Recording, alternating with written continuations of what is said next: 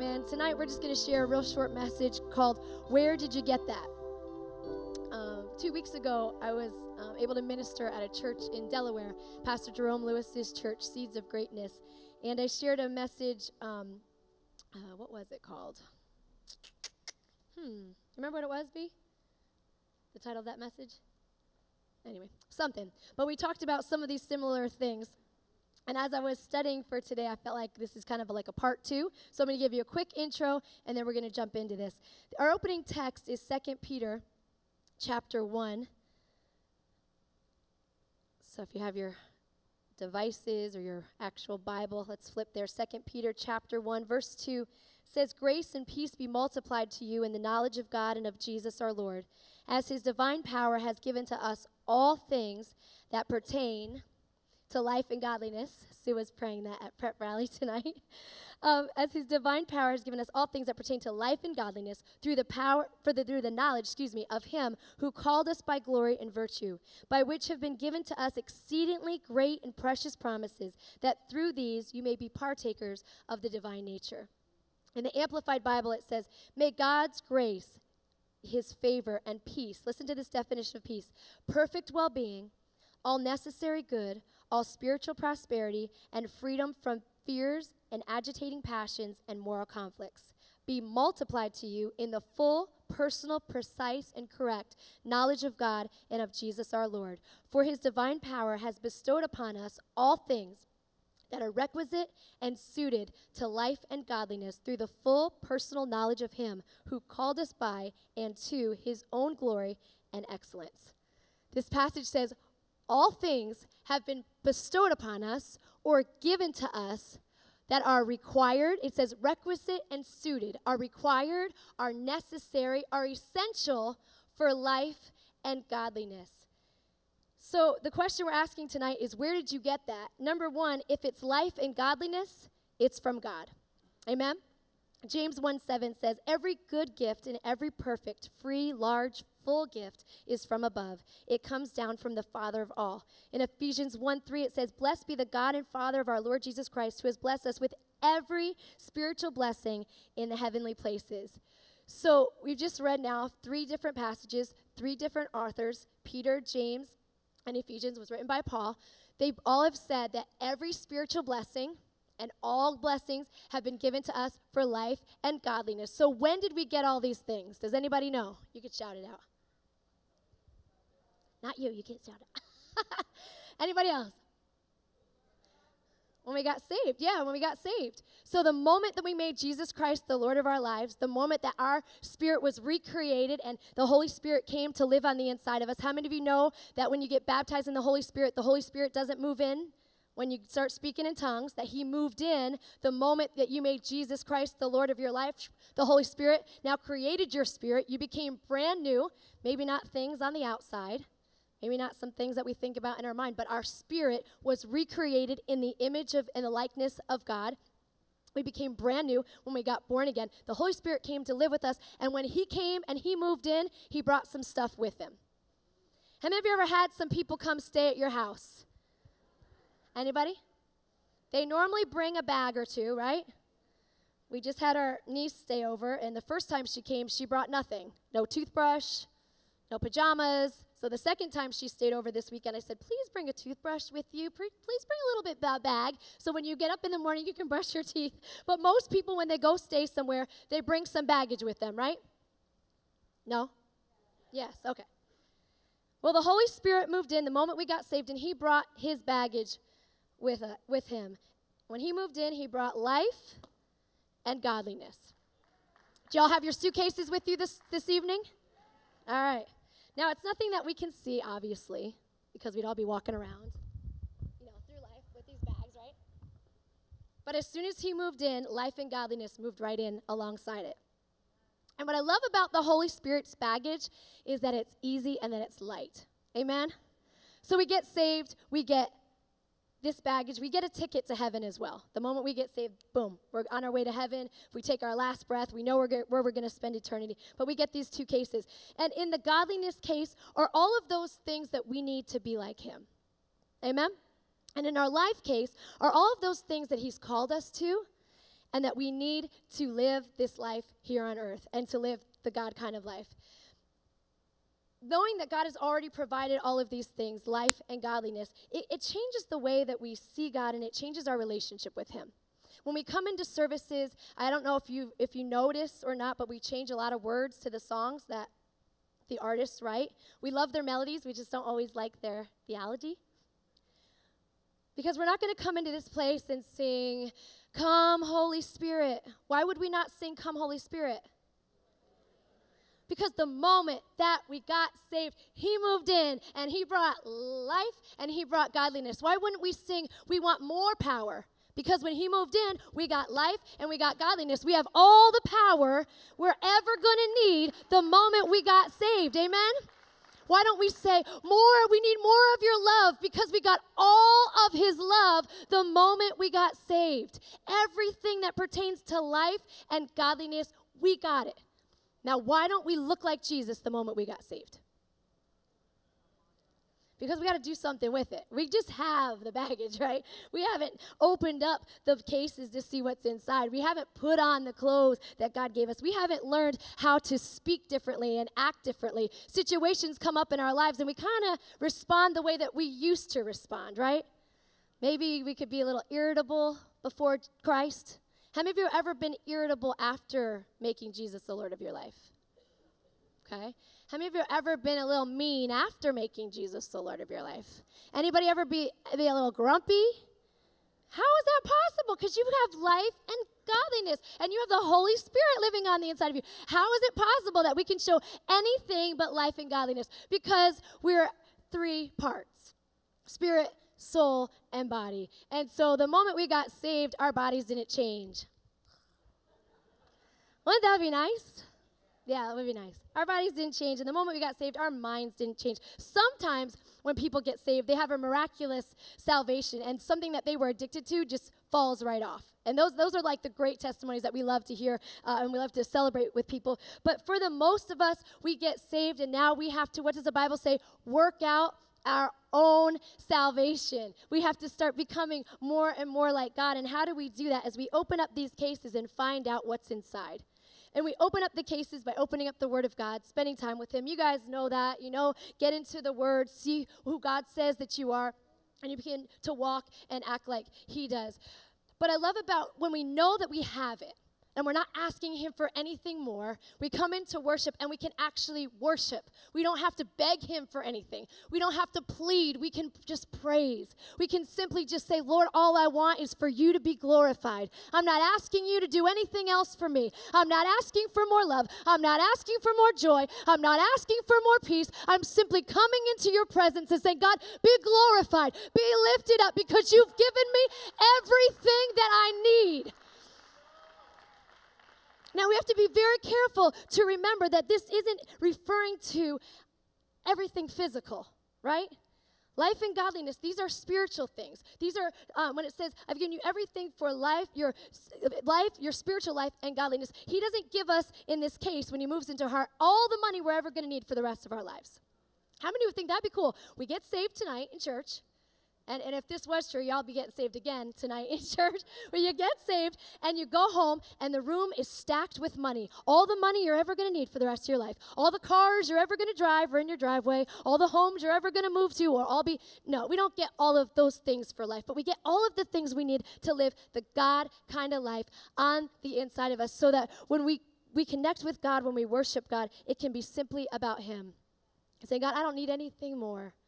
You've done it all. I thank you that you do meet uh, my physical needs. You do need, meet my financial needs. You do give me wisdom. But He's given us these cases to look inside and to find His plan. When we do things His way, He provides. There's that saying you've heard a million times where God guides, He provides. So if we open up our life case and there's something that he, He's leading us to, He will always, always, always provide. If what we need, what we think we need is not in the case, chances are we probably don't need it, right? Yeah. So the life case, um, the godliness case, according to Colossians 3, you can look that up if you want, but it has all of these things that the godliness case um, has inside. Basically, it's all the fruits of the Spirit. Uh, Galatians 5:22 says the fruit of the Spirit is love, joy, peace, patience, kindness, goodness, faithfulness, gentleness, and self-control. You ever hear someone say, "I have no self-control"? Yes, you do. All the self-control you need is on the inside of you. We just have to exercise it. We just have to let it reign and rule our lives. The other night, uh, I was looking in the refrigerator for a snack, and I had cherries in there. And I have this meal plan that says if you have 17 cherries before bed, it helps belly with belly fat and helps you sleep a little bit more. So I'm looking at the cherries, and then I'm looking at cookies. Cherries, cookies, cherries, cookies, cherries, cookies, and cookies wins it. I mean, that was not the best decision. I could have exercised some self control, but I chose not to at that moment exercise self control and decide to eat the cookies. So we have to exercise. We have to open up the cases. We have to put on these things. We have to make a decision. God's not coming down and slapping those cookies out of my hand and say, You're not going to eat those cookies. Eat the cherries instead. We have choices that we make in life, right? And when we determine whether or not we're going to put on the clothes that are in this case, or we're going to just kind of do what we want, what tastes good, what feels good, what looks good, right? The life case contains those things that He's called us to and those things that He's blessed us with. So inside the life case, there's things like the name of Jesus.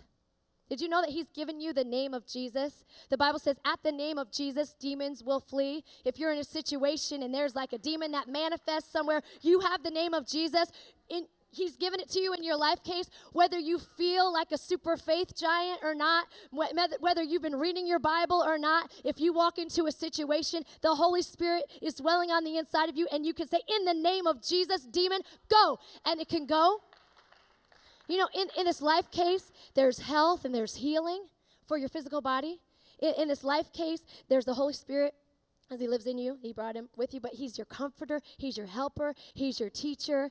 In this life case is the word of God that we can hold on to, that we can stand on. The Bible says his word will not return void. So if he gives you a scripture, he will be faithful to see it completed in your life. No, no matter how dark the situation may seem, no matter how far from the target you might be walking, his word will never return void. He will always accomplish what he set it out to do. That's very important to understand that. What He sent His word out to do, not what we twist it and try to make it say, but what He sent His word out to accomplish, it will not return void. It will not go back to Him unfulfilled. Amen? So, what, uh, where did you get that? Number one, if it's life and godliness, it's from God. Number two, if it's heavy if it's against the word of God or it's just not good, it's not from God. You hear me? CFF, do you hear me? If it is heavy and it is against the word of God and it is not good, it is not from God. I don't care if it turned you into a minister, the trials that you had, and the sickness and the disease that you endured. That sickness and disease was not God. You will never find in your life or your godliness case sickness, disease, debt, turmoil, stress, strife. None of those things are in the case. If it's heavy, if it's against the word of God, if it's not good, it's not from God. And we can look at that scripture. Well, he'll turn everything around for good. Yeah, but he didn't make the bad happen in the first place. He's just that good that in the midst of a mess that way me you put yourself in, or maybe the enemy has stirred up, or you know what? We don't live in heaven. We live in a fallen world. So whatever it is, whatever situation, he can say, you know what? You got yourself in a mess. The enemy's throwing some stuff at you, whatever it may be. But I'm so good that in the midst of your mess, I can come and pull you out of it and turn it around for good. But our God does not do anything, send anything that is not good. I hear people all the time, oh, well, you know, I don't know what God's doing with this situation. I heard someone, someone say um, this, this past weekend, they were telling me about a sickness that they have, and I don't know what God's doing through all this. I said, I'll tell you what he's doing through all this. First of all, he didn't give you the cancer in the first place. No way, no how, never would God give you cancer. He can't. He died to bear the stripes of cancer, so it wasn't from Him. And what He's doing through this is He's going to hold your hand as you walk through it. He's never going to leave you and he's never going to forsake you. That's what he's going to do. But he's not going to be bringing all of these things. Matthew 11, 28 says, Come to me, all you who labor and are heavy laden, and I will give you rest. Take my yoke upon you and learn from me, for I am gentle and lowly in heart, and you will find rest for your souls. For my yoke is easy and my burden is light. The Message Bible puts it this way Are you tired, worn out, burned out on religion? Come to me. Get away with me and you'll recover your life. I'll show you how to take a real rest. Walk with me and work with me. Excuse me. Watch how I do it. I love this right here. Learn the unforced rhythms of grace. I won't lay anything heavy or ill fitting on you. Keep company with me, and you'll learn to live freely and lightly. The Holy Spirit moved in the moment we got saved, and He gave us these bags, which are light and easy. So if you feel heavy, if you feel burdened, if you feel like the weight of the world is on your shoulders, don't feel condemned tonight, but recognize that you're carrying some stuff that's not from God. Okay? And I brought some stuff that, that we might be carrying around with us. This was this Impurity. These are some of the things that are found in Colossians 3 that represent the old man. Meanness, bad temper, these are heavy bags. They're not like the lighter ones. There's one more back here that we already kind of talked about. Irritability. This is a good one. Let's look at the irritability case. Whew. And I need a couple people who would like to volunteer to put on some irritability tonight. Anybody interested? Please. All right. Robin. Here you go. Anybody else? I got a bunch of them. Connie. All right. Jose. Thank you.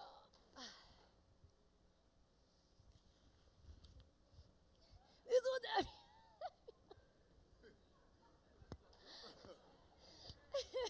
that was the heavy one. Here, you do the heavy one.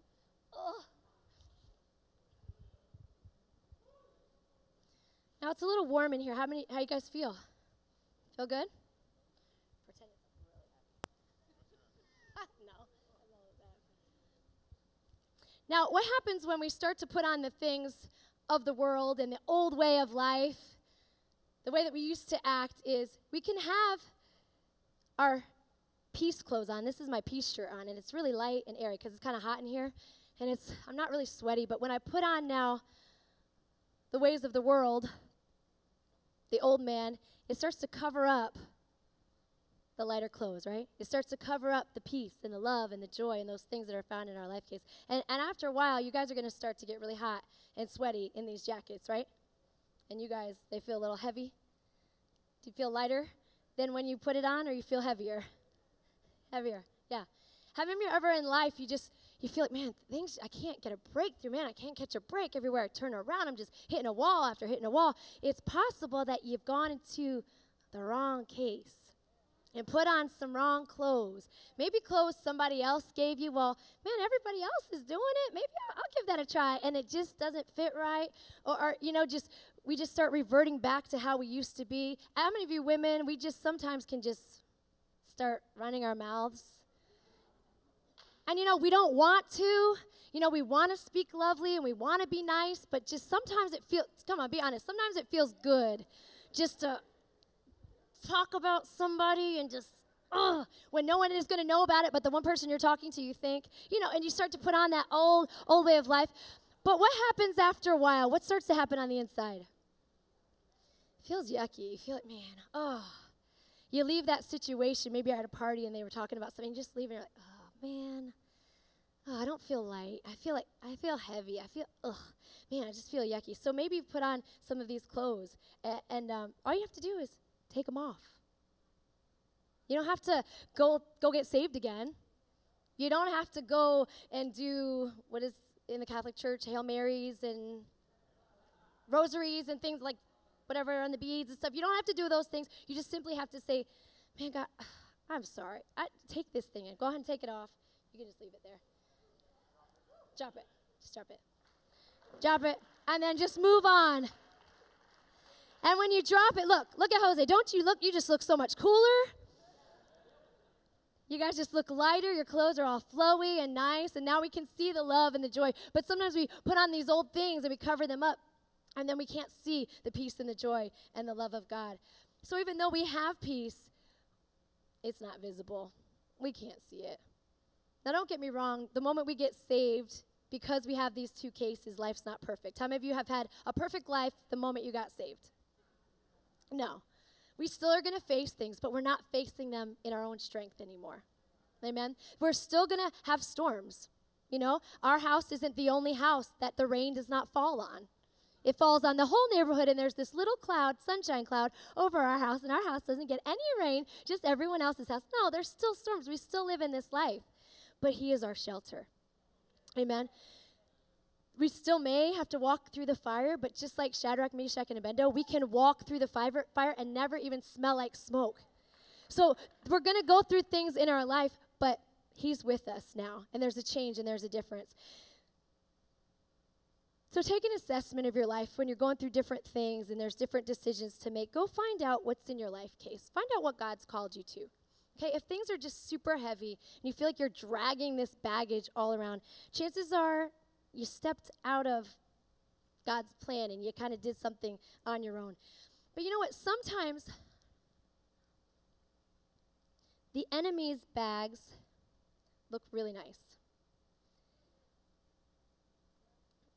And you have to ask yourself, constantly be asking yourself, where did this come from? Because this bag here, this is the meanness bag. It has this gift inside. That looks really nice. Right? It's really nice. And so we reason in and of ourselves, well, that had to come from God. I mean, it's so pretty and it's sparkly and it's pink, and pink's my favorite color. Not, not my favorite color. I'm just using an example. Miss Robin, it's your favorite color. So this must be from my daddy God because it's just so pretty. But if you didn't find it in your life case, don't open it. So many times in you know, maybe even in a relationship, you go looking in somebody else's bags and oh, I found one. Oh, this is so pretty. And we take it back and we try to fit it in our life case, but it just it doesn't fit. And all it brings with it is heartache and, and troubles and problems. So in your life, go to your life case and find what God has for you. Everything in your life case fits you perfectly. Everything in your life case was custom made by the Creator with His label on it for you. If it's not in here, it's just not going to be right. And the only way to find out what's in here is to spend time with Him. And when you spend time with Him, you, you get like this internal radar.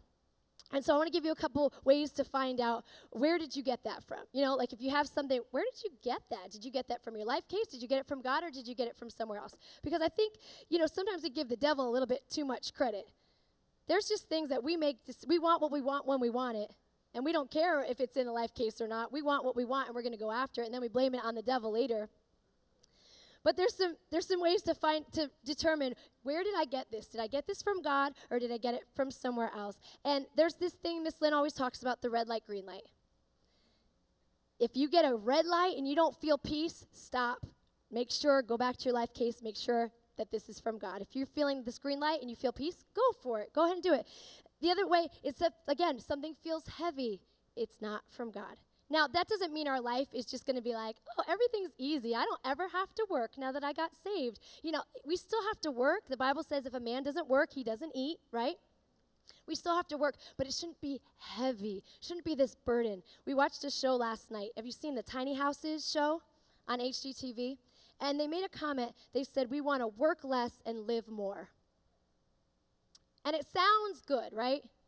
Work less, live more. That sounds like a good concept. So they're building these really tiny houses, like the size of this box here.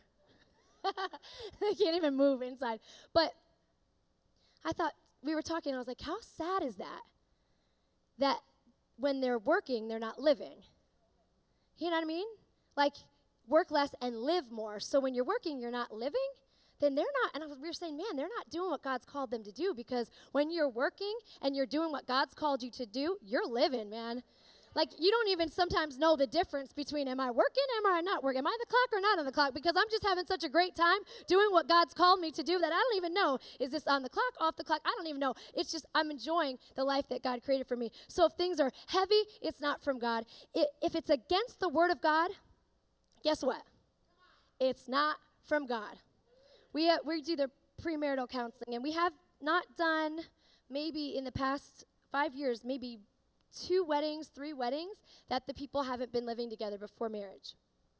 And what is so surprising to me is that I don't want people to feel condemned or judged, of course, but they don't even know that living together before marriage is not in your life case. Did you know that? It's for all of us. It doesn't have to be specific just to me. All every single one of us in the world in our life case is not to move in with your boyfriend or your girlfriend before you get married. That is not in your life case. That is not God's plan and God's best for your life. That's not what He created. He created marriage to be when a husband and wife come together. He created sex and all of those things and intimacy inside of marriage. He did not create any of those things outside of marriage. We have so much divorce, we have so much turmoil, we have so much craziness going on in the world because people are doing things opposite of the way that God designed. And they were like, man, why is everything so hard? Why is my life so hard? Why, why don't I know if this is the one or not? Because you're wearing sexual immorality over top of your Holy Ghost meter. You're not sure whether they're the one or not because you can't hear because you're cloaked and you're burdened down with doing things not God's way. Now, I'm not trying to be mean, but I'm trying to help set you free tonight. When you do things God's way, there's freedom and it's light and it's easy. So, to tell the difference, where did this come from if it's Life and godliness, if it's from God, if it's heavy, if it's against the word of God, or it's not good, it's not from God. So to question, you know, oh my gosh, this, I just got a call from the doctor, and and, and they just said that they found something in my body. Do you think, you, you know, this, this is from God? No, that's not from God. How would, how can you fight the enemy, and how can you combat what the enemy does or what's in the world if you believe that God gave you something? It's impossible, right?